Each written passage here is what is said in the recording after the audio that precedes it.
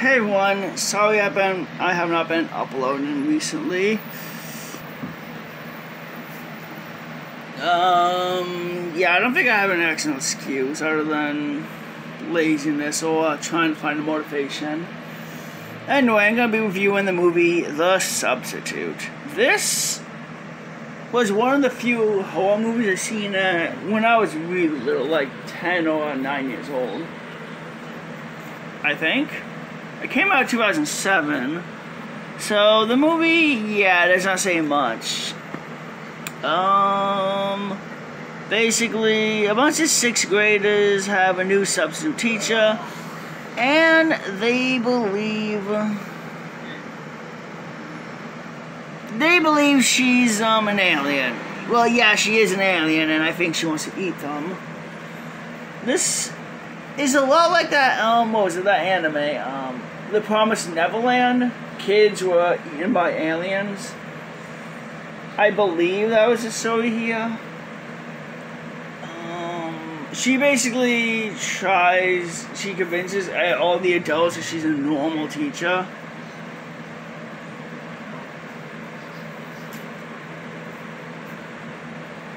And yeah, um, the movie's good. I have not seen it in like at least over 10 years.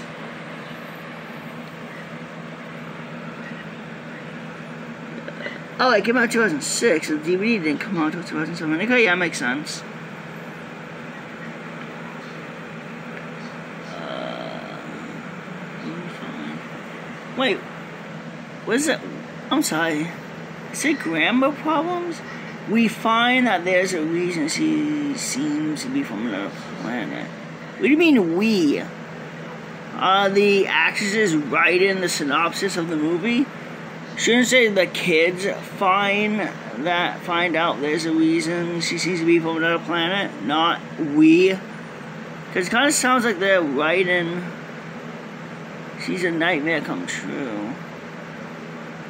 She manipulates all the parents and believes she's great, how great she is. It's obviously.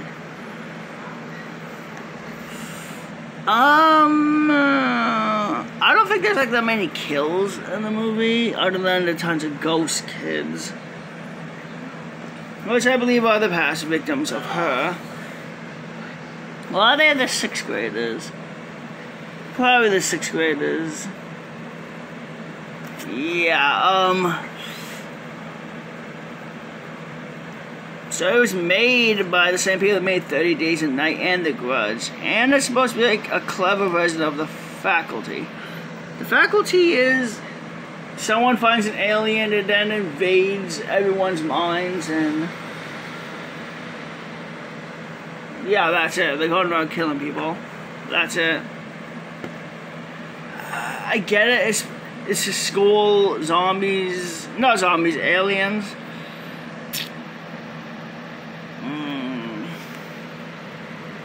I mean, I still remember the synopsis, the plot. I mean, it's a good movie. It's definitely stuck with me over the years, and I did like it. I would definitely say the, the lady playing the substitute teacher did a really good job. Doesn't exactly say who plays who.